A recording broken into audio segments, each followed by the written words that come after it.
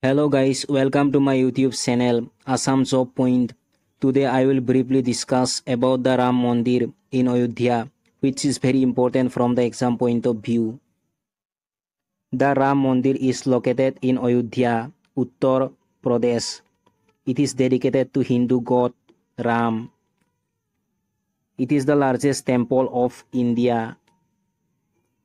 The Ram Mandir has been designed by the renowned architect Chandrakant B. Sompura. The temple has been constructed in Nagara style of architecture. 25,000 people can see the temple at the same time. 4 foot 3 inch height statue of 5 year old child Ram has been built of black stone.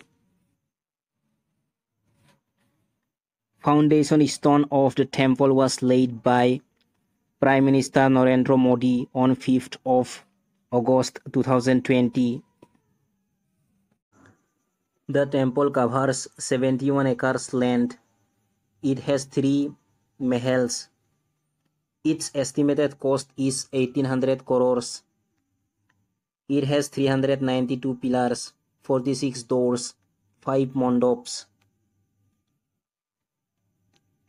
Water collected from 150 rivers of the country and soil collected from 2587 places for the temple. Ramlalla statue was installed on 22nd January 2024. Visiting time of the temple is 7 am to 11:30 am and 2 pm to 7 pm. Not a single iron is used to build the temple. Sri Ram slogan inscribed on every brick. Height of the temple is 161 feet, length is 360 feet, and breadth is 235 feet. The Ram Mandir was inaugurated by Prime Minister Narendra Modi on January 22, 2024.